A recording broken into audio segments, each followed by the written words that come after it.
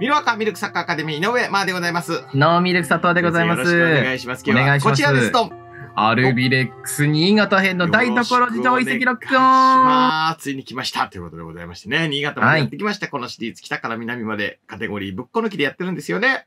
そうなんですよね。まあ、そんな新潟さん、今年はこのままもう昇格、まあ一直線ってところまで来てますけれども、はい。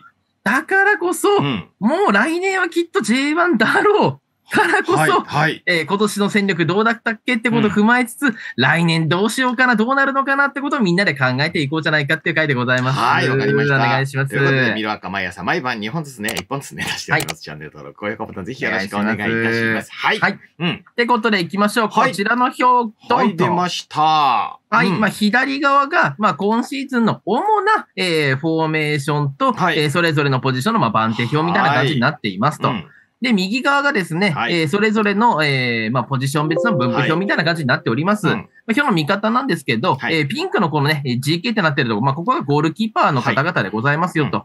皆さん右に進んでっていただければと。で、青がセンターバックタイプ、えー水色がサイドバックタイプですと。で、オレンジが守備的な方のミッドフィルダータイプで、えー黄色がオフェンシブな方のミッドフィルダータイプでございますとうん。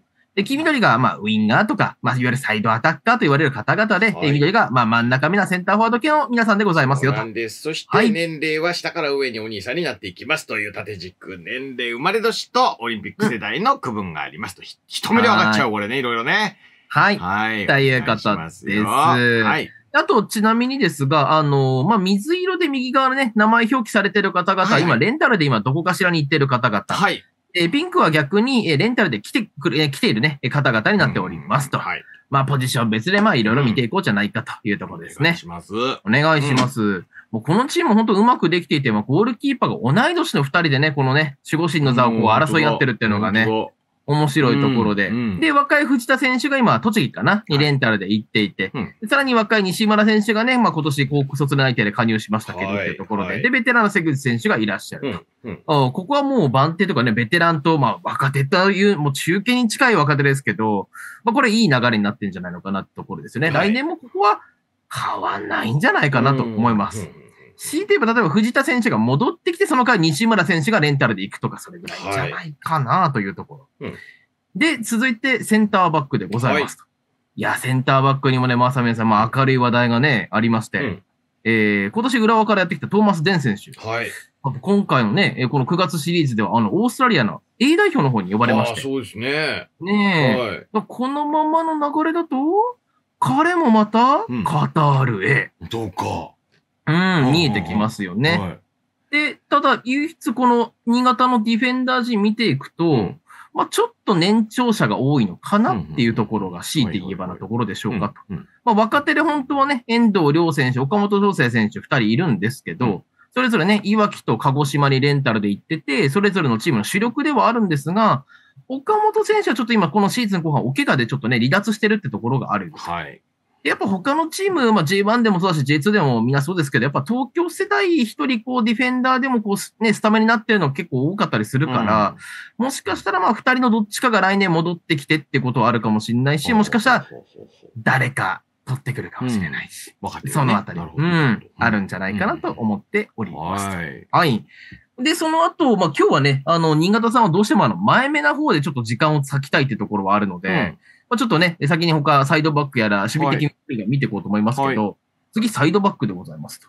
サイドバックはね、キャプテン堀米選手や、そして J1 からかなりの数、もう、熱視線浴びてるんじゃないかっていう藤原選手。うんこの二人をの画像を超えてくるのは、現 J1 のサイドバックの選手たちでもなかなか難しいんじゃないかなと。はいはいはい。レベルなので、うんまあ来年も彼らはこれやってくれると思いますし、うんあとは控え層充実のところも、長谷川選手だったり渡辺選手がもう台頭しているので、まあここはもう十分なんじゃないかなと思います。うんうんまあここから先ですよね、はいやっぱり。はい。まあわかりやすくは守備的ミッドフィルダー。3人っていうのがすごいですね。そう少ないですね。一応この高卒ルーキーの吉田選手がこっち下もできるんだけど、うんまあとはいえ、4人。うん。なかなか多くはないですよね。うんこのチームとしてはと。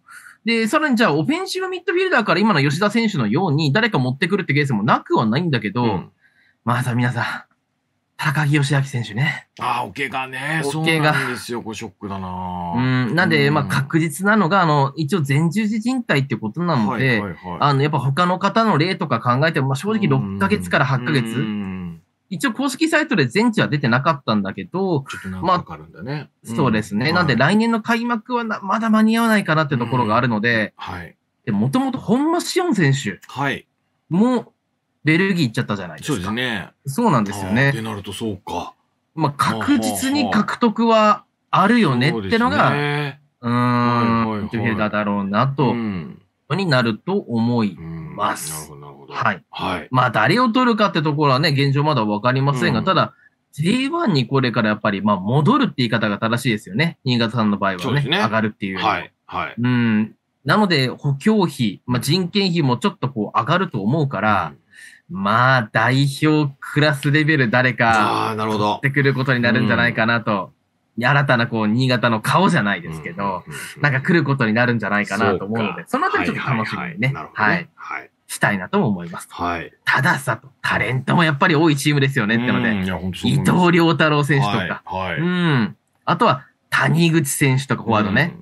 だったり、あとはやっぱり今、高卒とかね、若手組で売り出してるこのね、コミとコンビと呼ばれるコミちゃん、ミトちゃんっていうここ二人ですよね、うん若手。うんこのあたりの活躍がもうすごくたくさんありますから、まあ、新潟なのでやっぱり今後も若手中心に育てていきながらってことは、結構あるんじゃないのかなと思っております。はい。なるほどね。